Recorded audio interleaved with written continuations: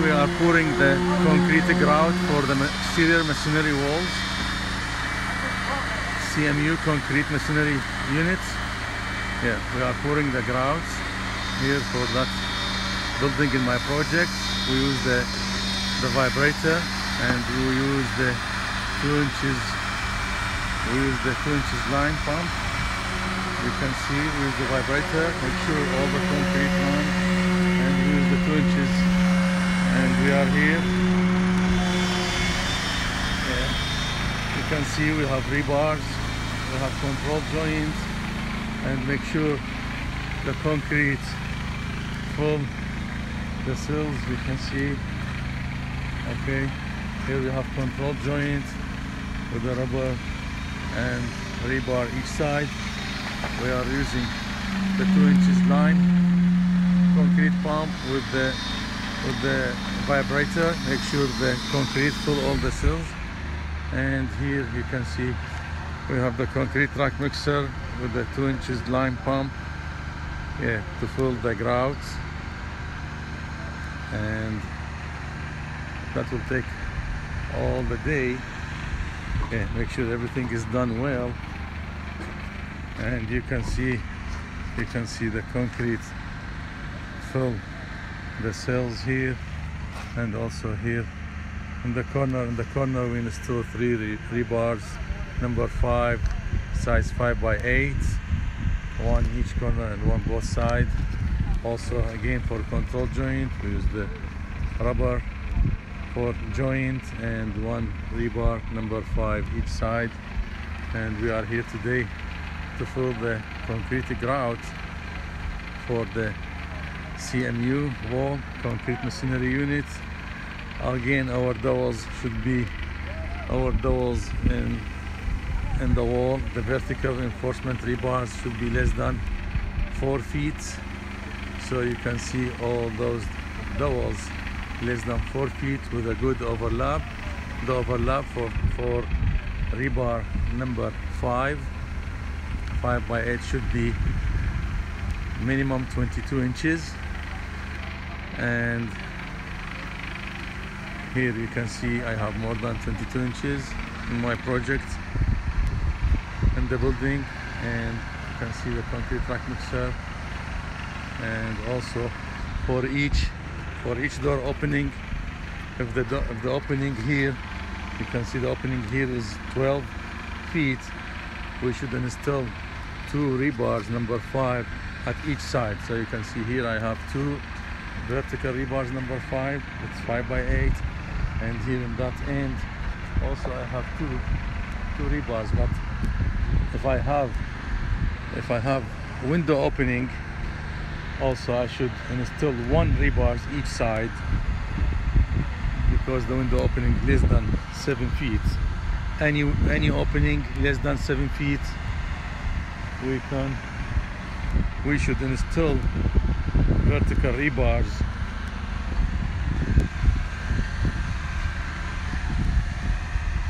At each side. Also you can see here the exterior wall here we have flashing. That flashing it is 0.06 millimeter thickness. And it is flashing using for exterior wall. And also here we have support for the for the exterior bricks and we will install two inches rigid insulation with airspace now we'll go inside. Today we pour the grout, the concrete grout for the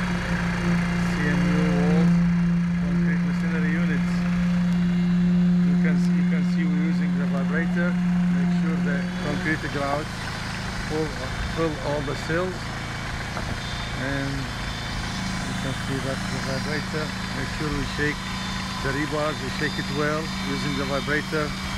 Make sure the concrete grout full all the cells and you can see now we pour uh, close to the control joints yeah today we're using the two inches line concrete pump to pour the grout using the vibrator. And we keep moving we just finished the garage area there and we started from the, that corner coming this way. And make sure everything will be done in the in the good way. You can see yeah pouring the grout and using vibrator. And make sure everything will be good filling all the seals with the concrete.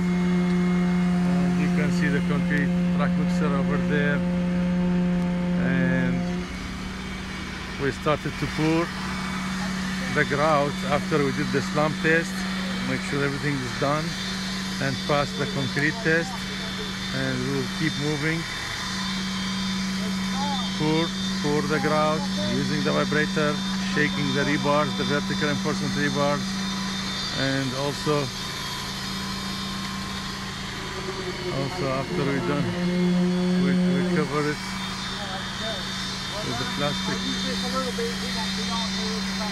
Yeah you can see we use the rebars in the corners of the building and each side of each side of the extension joint here we have a rub we have a rebar we have a rubber we have another rebar. Here we have window opening.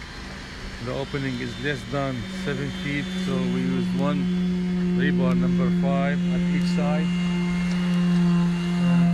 Here you can see also using the vibrator keep continuous. And here also you have door window opening. We use the vertical rebar because it is less than seven feet. That's another window. And here we have control joint. Also you can see the rubber for joint. Rebars number five rebar number rebars number five for the control joint. Here we have door opening. It is more than seven feet. So we installed two rebars at, at each end. You can see that is the left end that is the right end we install two rebars okay? Because the door opening is more than seven feet. Yeah and also where is the control joint? We install rebar each side door opening and